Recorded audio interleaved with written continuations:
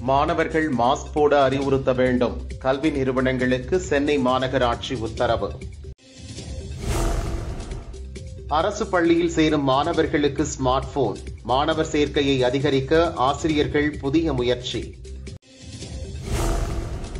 அதிமுகவுக்கு தற்போதைய சூழலில் ஒற்றை தலைமை தேவையில்லை. எடப்பாடி பழனிசாமியுடன் பேச தயார். ஓ பன்னீர்செல்வம் அறிவிப்பு.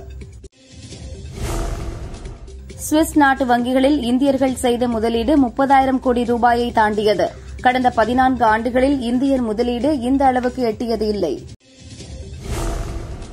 அதிமுக உட்கட்சி விவகாரத்தில் பாஜக தலையிடாது. அண்ணாமலை திட்டவட்டம். வரும் இருபத்தி எட்டு இருபத்தி ஒன்பதில் ஜிஎஸ்டி கவுன்சில் கூட்டம். ஸ்ரீநகரில் நடைபெறும் என மத்திய அரசு அறிவிப்பு. தடை செய்யப்பட்ட மாத்திரைகள் விற்பனையை தடுக்க தீவிர கண்காணிப்பு. மதுரை போலீஸ் எஸ்பி தகவல். ஆஸ்பத்திரியில் தாய் சோனியாவை கவனித்துக் கொள்ள விசாரணைக்கு மூன்று நாள் லீவு கேட்ட ராகுல் அமலாக்கத்துறை ஒப்புதல் அளித்தது. காஷ்மீரில் பாஜக தம்பதியை கொன்ற பயங்கரவாதி பாதுகாப்பு படையினர் சுற்றி வளைத்து சுட்டுக் கொன்றனர். தேனி கூடலூர் அருகே சாலையோர பள்ளத்தில் கவிழ்ந்த அரசு பஸ். ஒருவர் பலி இருபத்தைந்து பேர் படுகாயம். பண்டிட்டுகள் கொலை பற்றி சர்ச்சை கருத்து. நடிகை சாய் பல்லவி மீது இந்து அமைப்புகள் கோபம். ஹைதராபாத் போலீசில் புகார். ரயில் பாதையில் செல்ஃபி எடுக்கும் மக்களால் இடையூறு ஏற்படுவதாக மதுரை ரயில்வே கோட்ட மேலாளர் வேதனை. விழிப்புணர்வு ஏற்படுத்த வேண்டுமென கோரிக்கை.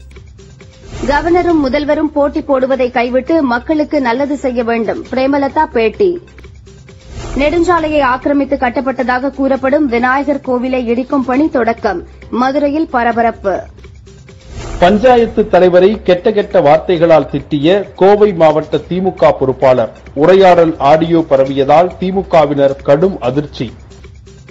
அக்னிபத் ஆள் சேர்ப்பு திட்டத்திற்கு எதிராக பீகாரில் போராட்டம். ரயிலுக்கு தீ வைப்பு வேலூரிலும் போராட்டத்தில் குதிக்க முயன்ற இளைஞர்கள்.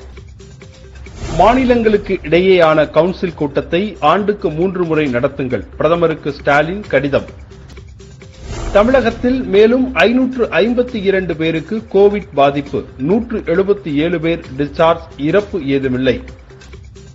ரேஷன் கடை ஊழியர்களுக்கு அகவிலைப்படி உயர்வு பதினான்கு சதவீதத்தில் இருந்து இருபத்தி எட்டு சதவீதமாக உயர்த்தி அரசு அறிவிப்பு.